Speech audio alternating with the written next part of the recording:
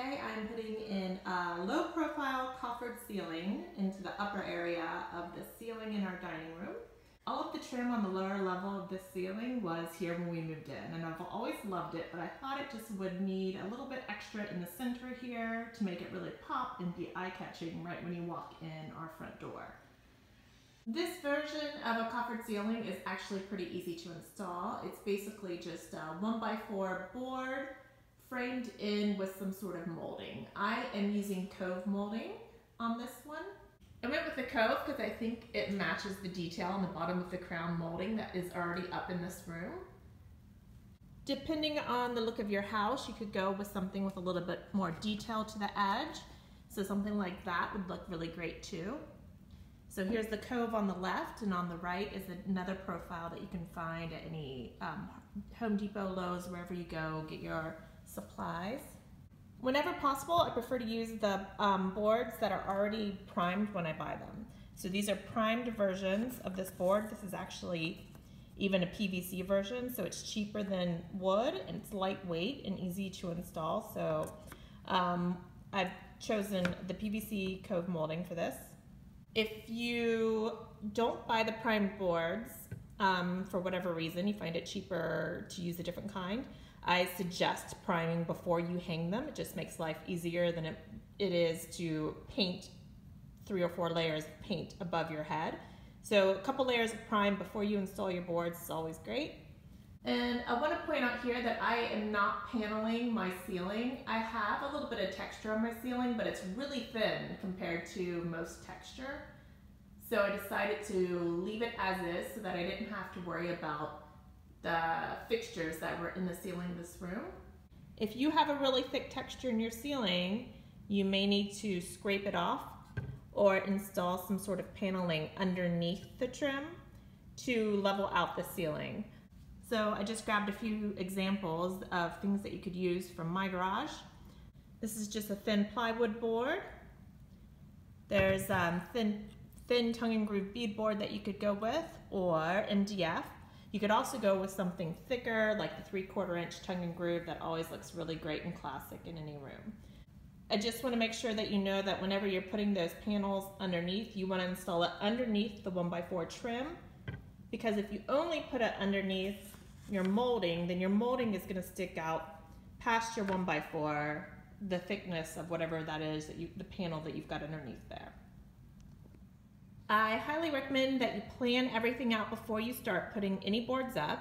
I carefully measured the ceiling that I'm installing this trim on and laid out a diagram to make sure that I wasn't going to hit any of the fixtures or vents in the ceiling.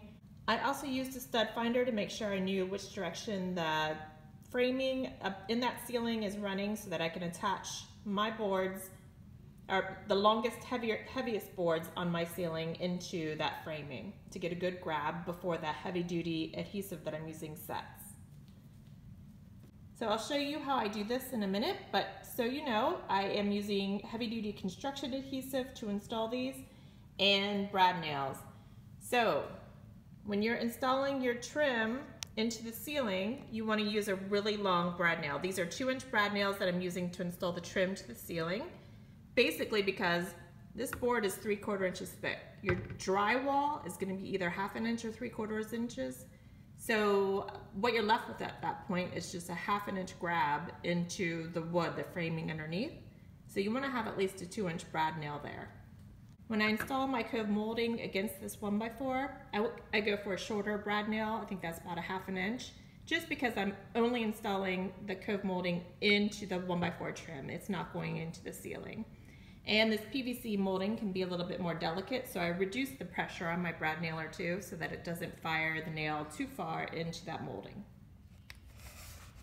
Before I put any of the long boards up across the ceiling, I like to just use the stud finder to quickly mark across the ceiling with just a pencil where my studs are. That way I know I want my brad nails there to help the board stay up while the adhesive dries. So just one more quick look at the diagram that I drew up of my ceiling. I want to explain a couple quick things.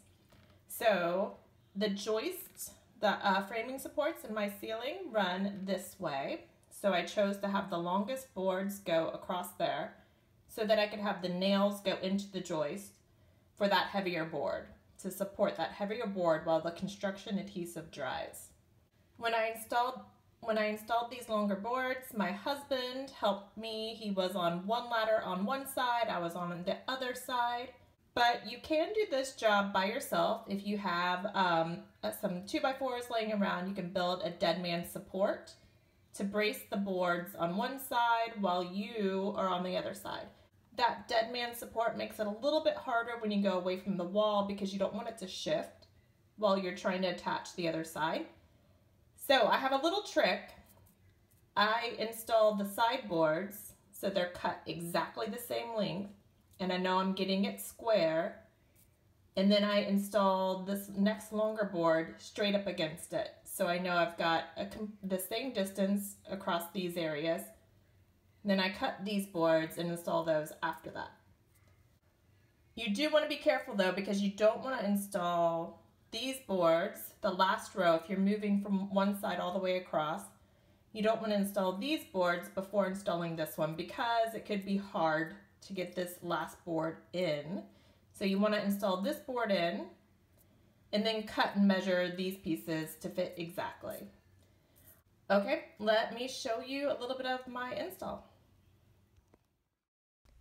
It's really important when you are installing your boards to keep using your tape measure and your squares to keep the boards square to each other your eye is going to pick up any big differences when you walk into a room where you've installed this coffered ceiling if the distance between the boards isn't equal.